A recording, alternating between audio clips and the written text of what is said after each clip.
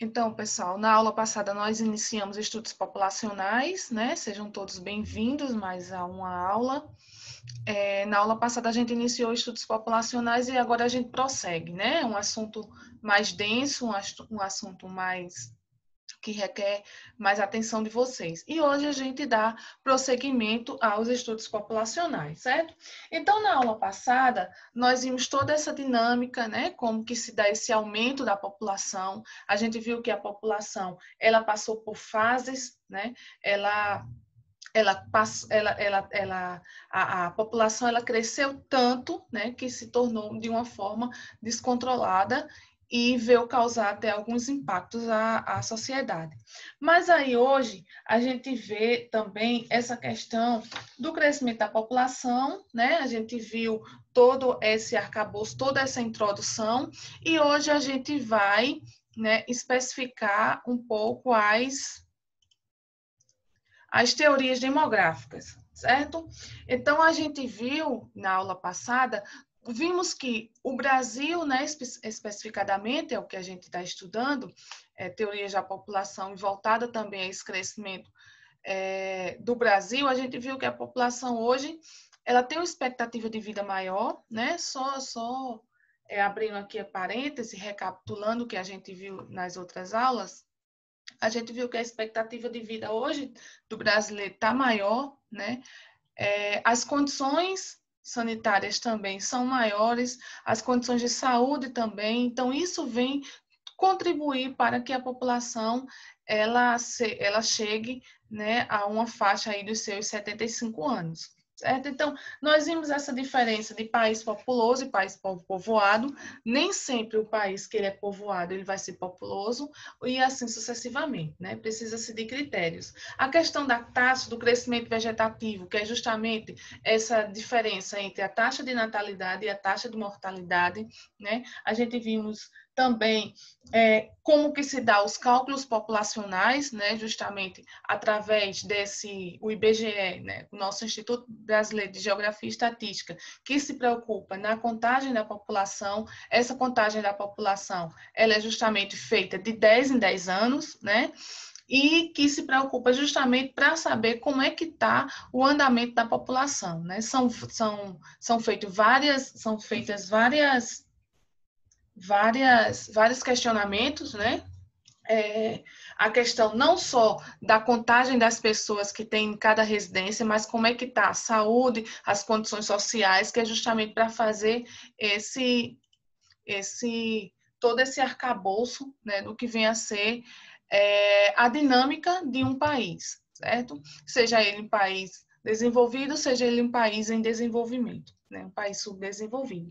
E daí a gente vendo toda essa, essa estrutura, né? Vimos também as questões das pirâmides etárias, né? Até em outras aulas a gente viu também como é que está essa base, como é que está o topo, né? Década de 70 nós tínhamos uma base mais larga. Bom dia, Noemi, seja bem-vinda. É, no início dos anos 70, nós tínhamos uma base mais larga né, e tinha um topo mais fino, mais achatado. Hoje isso já está mudando, né? Nós temos uma base que ela vai se comparando justamente ao topo, ou seja, porque essa população jovem adulta, né, ela está envelhecendo. Né? Então, aquele, aquela característica que nós tínhamos de pirâmide dos anos 70 ser né, em forma realmente de uma pirâmide clássica, ela já vem mudando ao longo dos tempos, justamente em consequência desse envelhecimento da população certo? Então a gente sai de toda essa dinâmica, né? A gente a gente vê toda essa característica de como que se dá crescimento de natalidade, a questão da mortalidade, a questão das pirâmides etárias, né? A contagem da população através do IBGE e daí a gente tenta entender a questão das teorias demográficas, certo? Eu, eu até coloquei é, uma questãozinha para vocês de teorias demográficas é, no, na, na na prova que vocês vão fazer, né, no simulado, porque a gente já vem debatendo teorias demográficas, né, desde a, do bimestre passado. Desculpa, população desde o bimestre passado. Bom dia a todos que estão entrando agora, certo? Samires, Noemi, sejam bem-vindas. Qualquer dúvida, qualquer coisa, podem ficar à vontade e podem colocar aí no chat ou falar mesmo tá certo? Então, daí a gente entra para as questões das teorias demográficas, né? Essas teorias demográficas, elas foram baseadas em estudos, né, em pesquisas, é, pesquisadores estudaram, é, de acordo é, com a preocupação relacionada à população. Isso é de praxe, né? Isso está relacionado à contagem da população, à preocupação com a população, né? Então, tivemos no decorrer dos anos aí, das décadas atrás, anteriores, é, várias várias teorias, né? E de princípio a gente começa a ver a teoria de Malthus, né? No livro de vocês tem a teoria malthusiana, né? E essa teoria da, é, de Malthus, ele diz o seguinte: conforme Malthus, né? O seu estudo foi sobre o princípio da população. E ele afirmou que a população mundial ele cresceria em um ritmo rápido, comparado por ele a uma progressão geométrica. E isso preocupou ele. Né? Então, para Malthus, a população ela estava crescendo tão exorbitante, tão rápido, né, que ele comparou a uma progressão geométrica. E para ele, a produção de alimentos cresceria em um ritmo lento comparado à progressão aritmética, ou seja, a, a população cresceria tanto que não ia ter alimento para abastecer essa quantidade de pessoas que estavam é, nascendo, né, essa população que estava crescendo. Então, Malthus ele se preocupava justamente com isso, com a quantidade de alimentos, que o mundo não ia produzir alimentos suficiente para abastecer as pessoas, né? Há uma certa controvérsia aí e de qualquer forma é, a gente vê hoje a realidade, né? A nossa realidade brasileira, se a gente for é, citar um exemplo. O Brasil é, um, é, caracterizado como um dos países que passa fome, as pessoas é, vivem à margem da pobreza, né? É, e é um país exportador. É um país que exporta alimentos, é um país que perde alimentos. Então veja as contradições, né? Então Malthus ele se preocupava justamente com essa quantidade de alimentos que ia faltar para o número da população que estava aumentando. E a gente vê realmente que a população aumentou, mas que o que acontece? Ela ainda passa por necessidades por conta de um grande fator que atinge justamente a nossa sociedade hoje, que é a desigualdade social, certo? A desigualdade social. Então, isso é um fator que vem, que vem prejudicando a humanidade hoje, né? Principalmente em países de terceiro mundo, principalmente em países é, subdesenvolvidos, em desenvolvimento, né? Como é o caso da do nosso país, do Brasil, na América do Sul. E daí ele concluiu que, sendo assim, faltaria alimentos para todos os habitantes da Terra. Né? Então, o que Malthus pensou foi justamente isso, essa preocupação que iria faltar alimentos para, para toda a população. E ele sofreu é, críticas, né? É, por quê? Para as pessoas que criticaram, para os outros estudiosos que criticaram Malthus, que também estava estudando a questão da população, né? Ele não considerou os avanços técnicos científicos, né? O, como Milton Santos mesmo diz, é o meio técnico científico informacional. Né? digamos assim, que ele não levou em consideração que a, a população estava crescendo, mas ela também estava evoluindo tecnologicamente, né? É como técnicas voltadas à agricultura, o campo mecanizado, né? Consequentemente, o aumento da produção de alimentos. Então, se eu tenho um campo mecanizado, né? Se eu tenho uma agricultura é, voltada justamente, um, é, eu tenho uma preocupação voltada justamente para esse aumento da, da, é, da, alimentação dos alimentos, né? Eu estou tendo um avanço aí tecnológico. Então, Malthus ele não pensou nisso. Né? Ele, ele não pensou no que se poderia melhorar. Digamos assim, a população está crescendo, e o que é que eu posso fazer para que é, não falte alimento. Né? Então, é, quem, quem criticou Malthus, né, os outros estudiosos, as outras teorias que a gente vai ver consequentemente, é, observou que ele não levou em consideração os fatores técnicos científicos, certo? Principalmente aplicar, aplicados à agricultura, ou seja, o campo mecanizado. Não considerou as reservas de alimentos dos mares e oceanos, né? O que a gente pode, pode também né, se abastecer né, do, dos mares e oceanos, e não levou em conta outras regiões do planeta com áreas de solos férteis. Né? Então, essa foi a crítica que foi feita a Malthus. Né? Ele viu só a preocupação que não iria ter alimentos para essa população, mas não levou em consideração a esse campo, não levou em consideração as áreas férteis, né? Enfim, era uma preocupação desse teórico, certo? Então, quando lembrarem da teoria de Malthus, lembrem que para ele a população ia crescer tanto que ia faltar alimentos para abastecer essa população.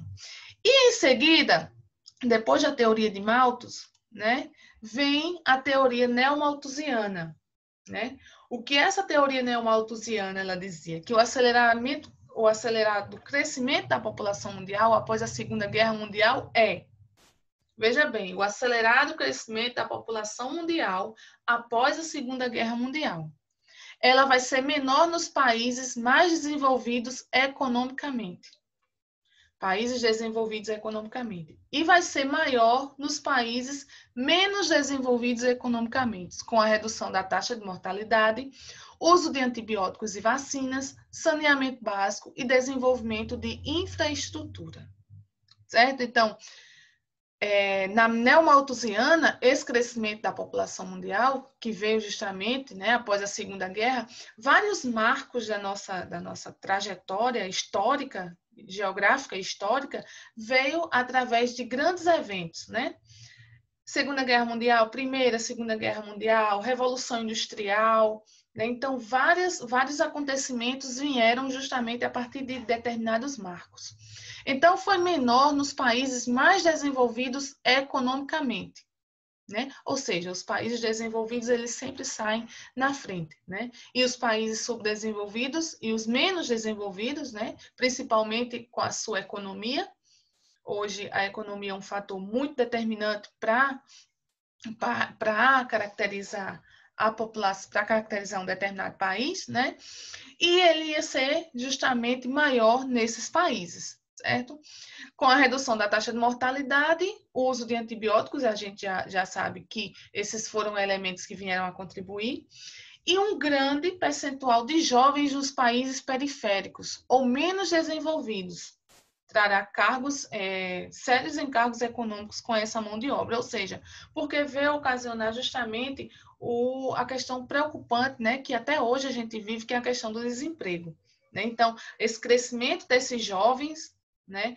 É, principalmente em áreas periféricas, né? Que não tinha justamente essa porcentagem para se enquadrar é, dentro desses fatores econômicos.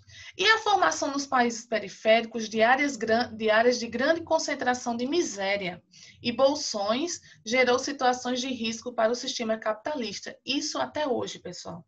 Até hoje a gente vê esse arcabouço, a gente vê é, como é que está essa estrutura né, desses, dessa, desses bolsões de miséria, principalmente em países que passam por crise, principalmente em países subdesenvolvidos, né? Por isso que o que a gente vai ver lá na frente, né? Esses bolsões de miséria, essa falta de perspectiva de vida, principalmente dessa parcela jovem da população, vai acontecer o que é a gente vê o cenário hoje da migração, certo?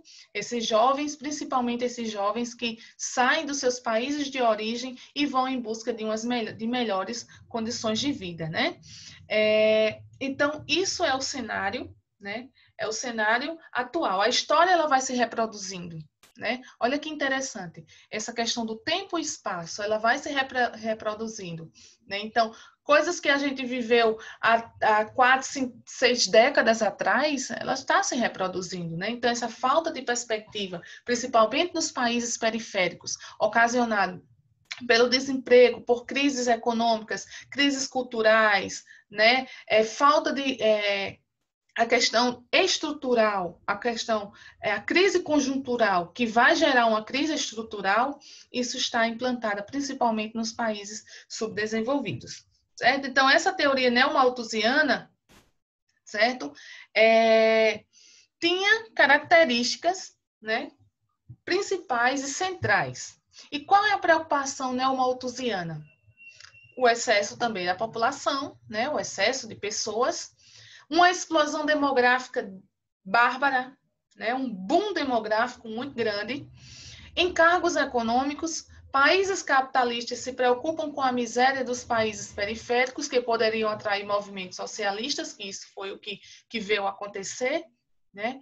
É, a partir do momento que você vê, que estuda né, é, é, a história do, do, do, desses países, né, a gente consegue ver essa, essa questão desses movimentos socialistas que vieram ser implantados justamente a partir de determinados fatores. Então, essa essa essa essa preocupação neomalthusiana era justamente também tinha um pouco de Malthus, né? Também tinha um pouco da preocupação de Malthus, que era o excesso da população, né? O crescimento né, é, da população. E veio acontecer principalmente nos países né, periféricos, os países da América Latina, da Ásia e da África.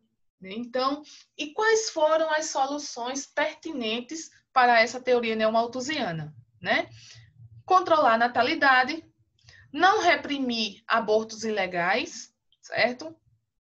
Esterilização em massa de mulheres e laqueaduras e ligaduras de trompas. Então, veio-se ter esse controle da natalidade através justamente, né, a, através também desses métodos contraceptivos, ligação de trompas, né, é, uso de contraceptivo oral, enfim, preservativo feminino, masculino, né, é, e a ideia central, né, da teoria neomalthusiana, né, foi justamente um crescimento rápido da população, que seria um obstáculo ao desenvolvimento econômico. Veja como o desenvolvimento econômico ele é pertinente e ele está realmente na preocupação, né?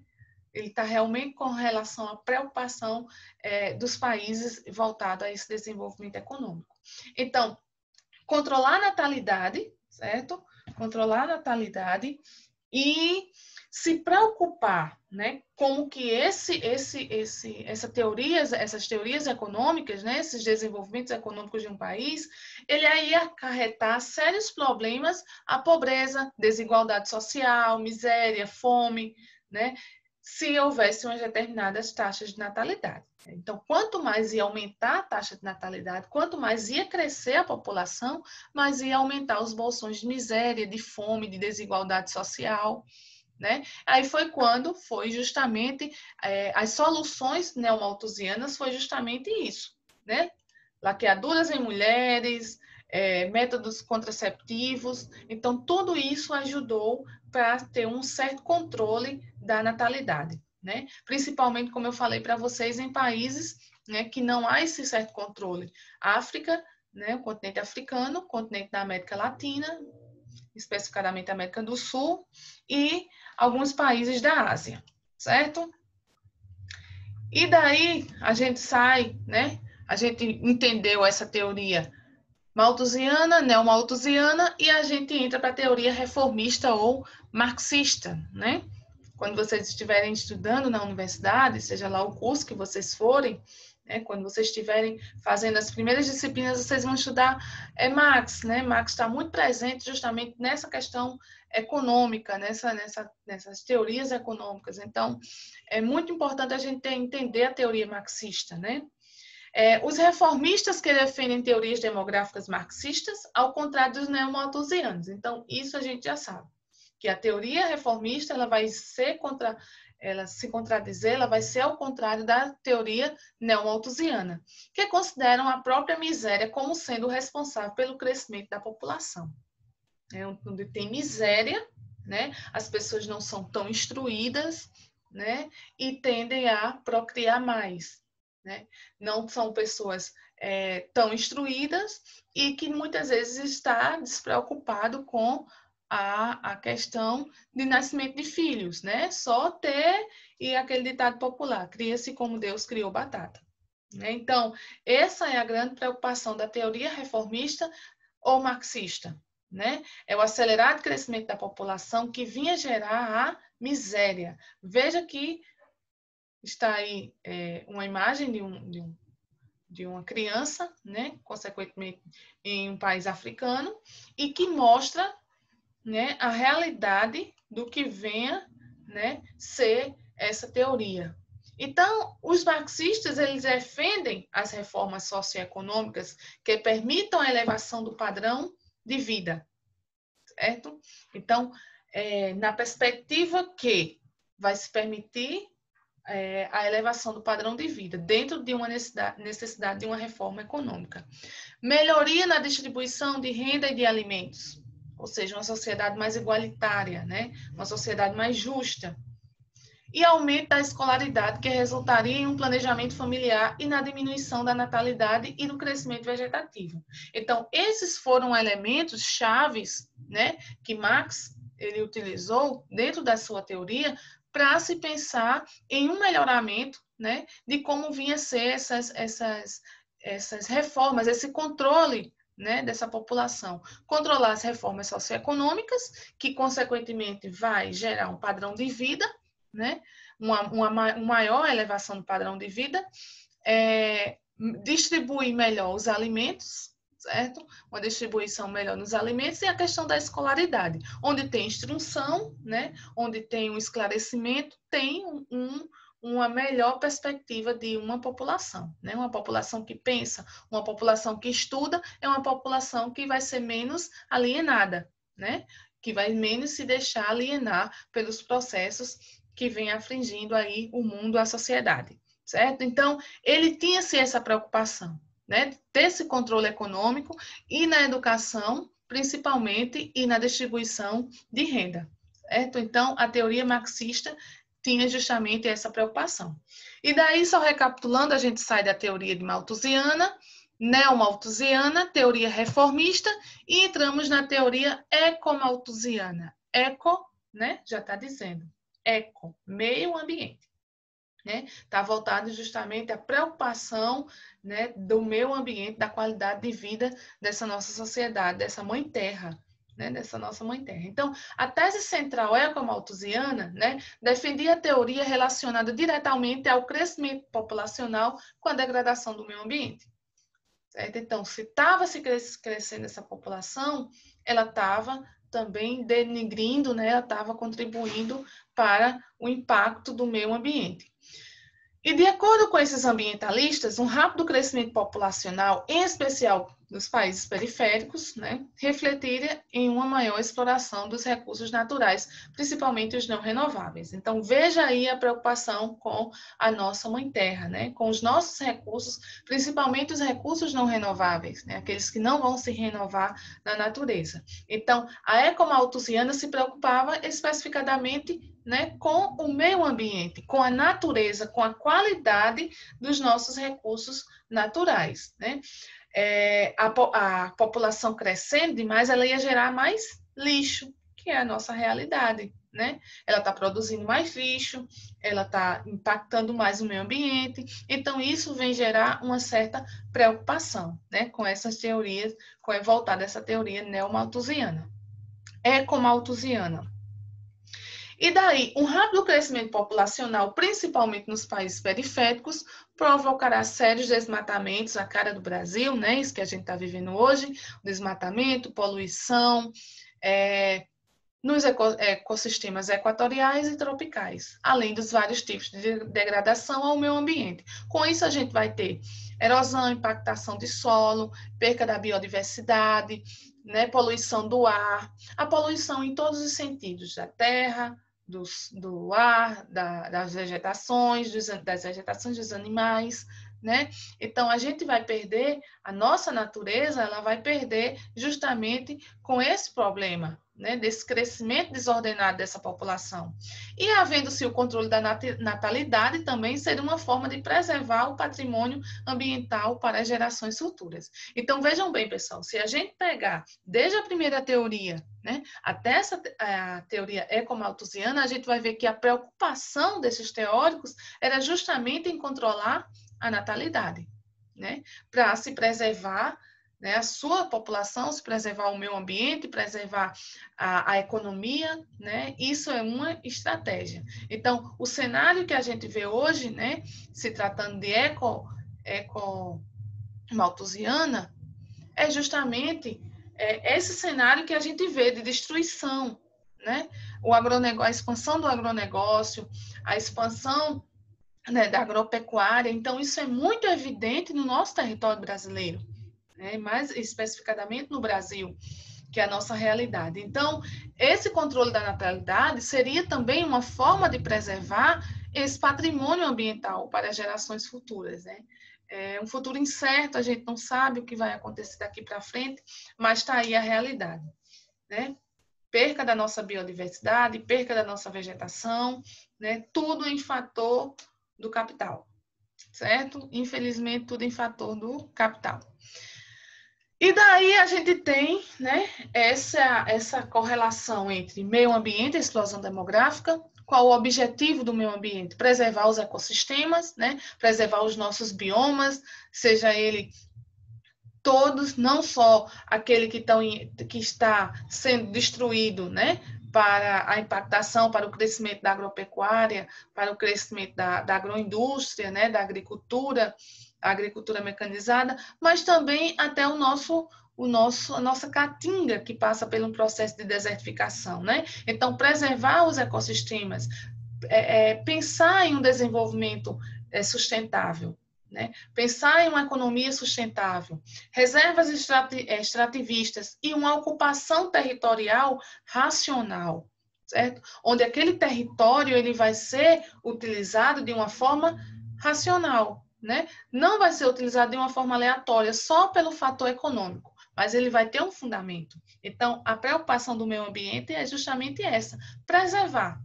Preservar para ter, né, para nossas futuras gerações. E a explosão demográfica? O que, é que acontece? É totalmente o contrário do que vem se, se propagar dentro do meio ambiente.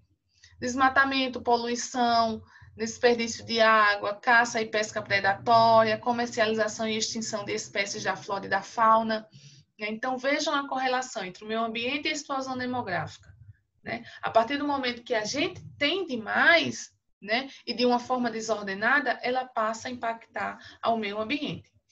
É, nos países periféricos, as carências sociais são tão grandes que as preocupações ecológicas estão quase restritas às camadas sociais médias né? Então, isso mostra que, né, que aquela parcela da população que não tem recursos, que não tem uma, uma educação é, formal, que não está preocupada na sua formação educacional, né, ela é uma população alienada, ela é uma população que ela não preserva, que ela não está voltada aos cuidados é, da, nossa, da nossa natureza, né, dessa relação natureza-sociedade.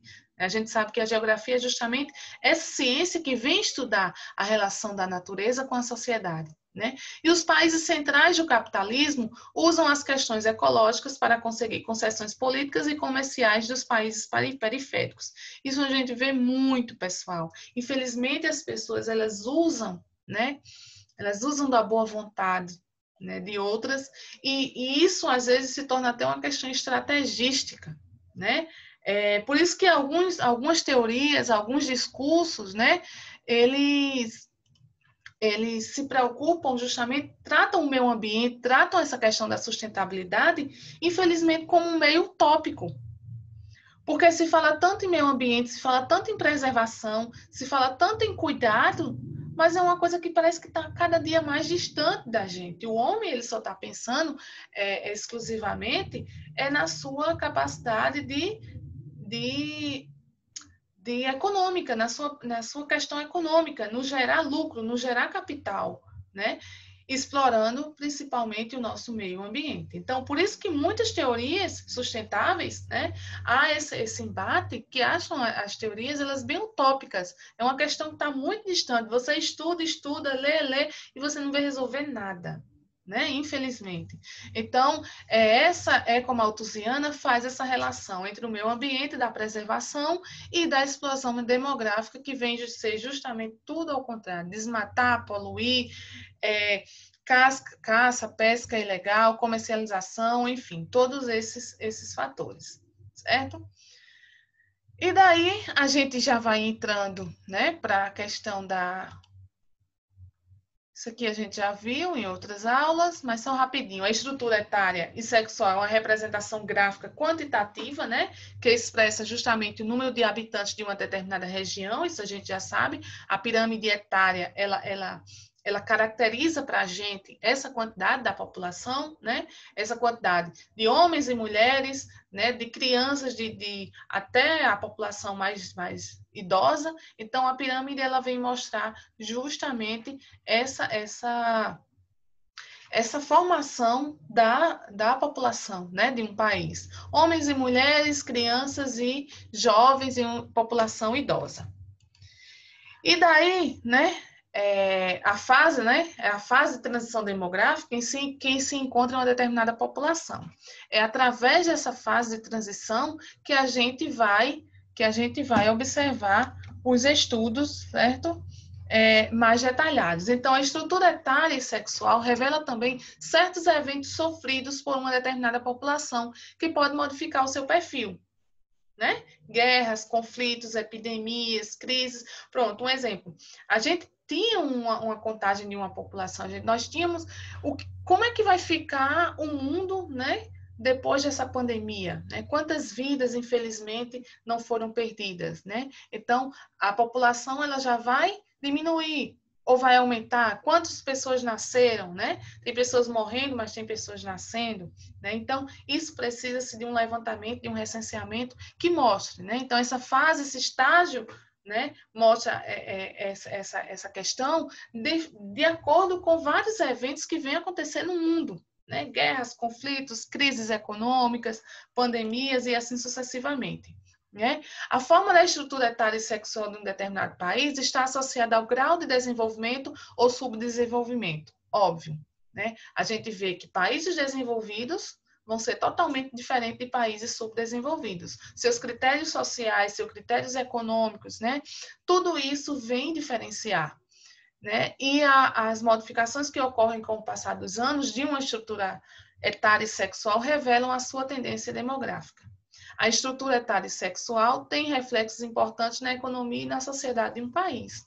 Isso a gente já sabe. Né? Então, veja como é importante né, a gente saber entender a pirâmide a pirâmide etária. E daí a gente termina né, esse assunto com as migrações. Né? A gente já, já deu uma pinceladazinha em aulas anteriores, já vimos essa questão das pessoas que entram, das pessoas que saem, e os movimentos migratórios mundiais estão aí. Né?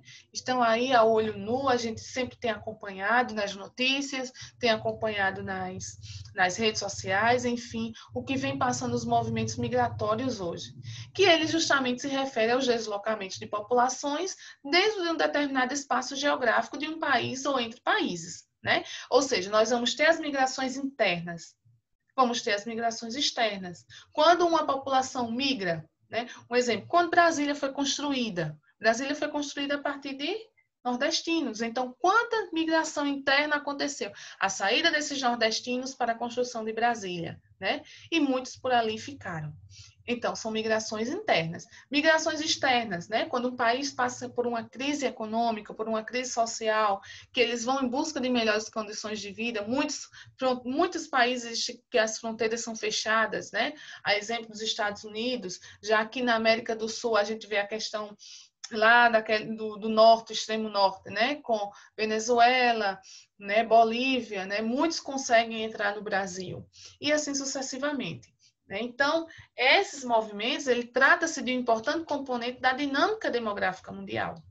Né? Quando a gente está estudando demografia, é de valia, de grande importância nós estudarmos essa questão das migrações, né? as migrações pendulares, as migrações internas e as migrações externas né, as migrações que ocorrem dentro do próprio território, dentro do próprio espaço geográfico e que ocorrem entre países, né?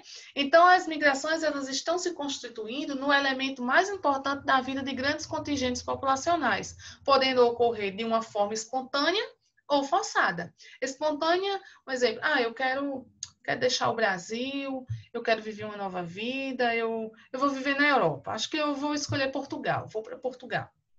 Né? Então, foi uma opção minha. Mas a partir do momento que é, a gente passa por uma crise, por uma guerra, por um conflito que é forçado, aí essa migração vai ser forçada a você sair do seu país, né? Ó, corresponde aos deslocamentos que são realizados involuntariamente pelos habitantes de uma região com os que ocorreram entre os séculos XVI e XIX devido ao tráfico negreiro, que transferiu por meio da força mais de 40 milhões de habitantes do do continente africano, principalmente para a América colonial.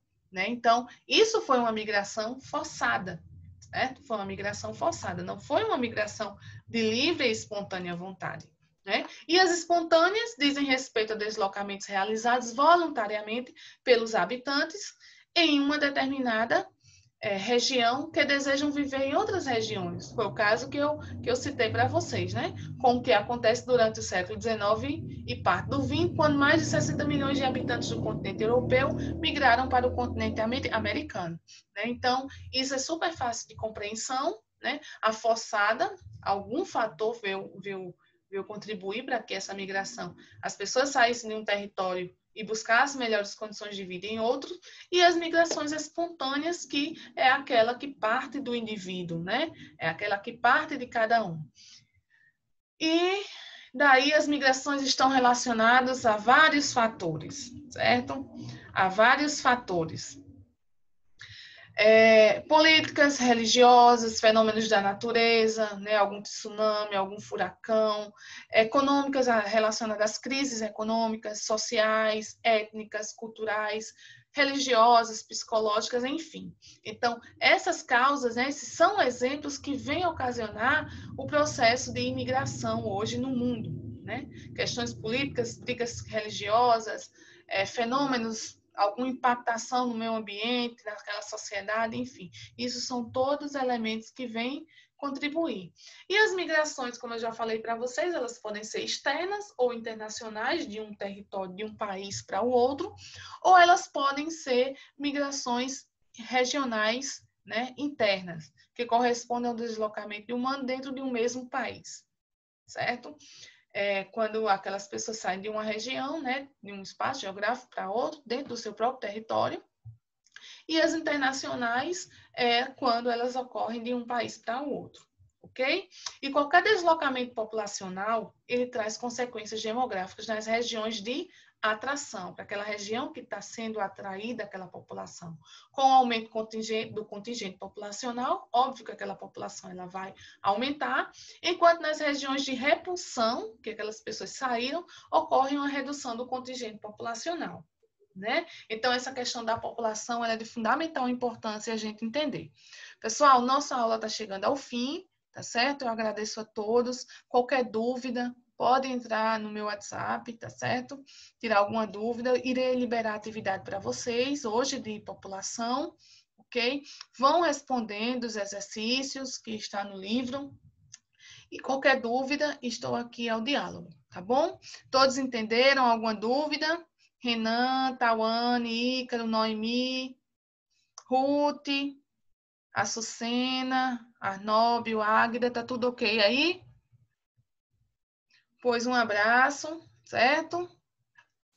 Deixa eu ver aqui, alguém falou? Tudo certo, Ruth. Muito bem. Qualquer dúvida, estou aqui, viu? Pois vão responder nos